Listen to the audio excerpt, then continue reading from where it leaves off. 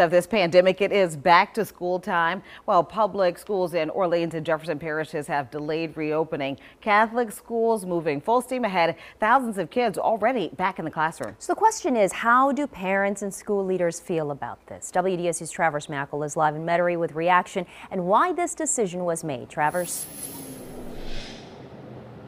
Hey there, Saul. The Catholic Archdiocese school system says they feel like it's the right decision and that it's necessary at this time. But they are very quick to point out that a lot of these kids coming back to school, it's going to be hybrid learning, some in class and some virtual. And we're talking about a lot of kids here. There are more than 34,000 kids attending Catholic schools across eight parishes in Southeast Louisiana.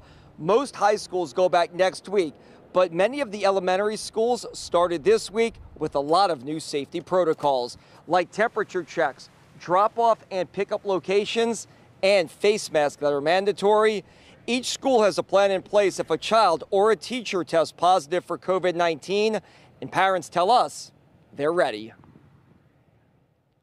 I'm thrilled. Um, I can tell you I had a lot of mixed emotions about it at first, but then when St. Pius started going through the new protocols and all the safety measures that they were implementing, you know, I started feeling really comfortable with it. Our, our teachers, our students, they need a sense of normalcy.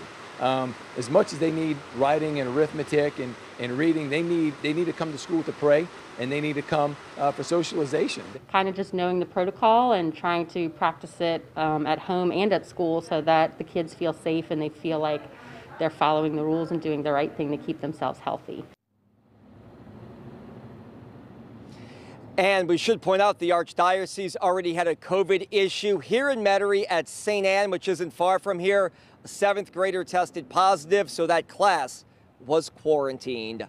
We'll have much more on this topic coming up at 5. For now, we're live in Jefferson Parish. I'm Travers Mackel, WDSU News.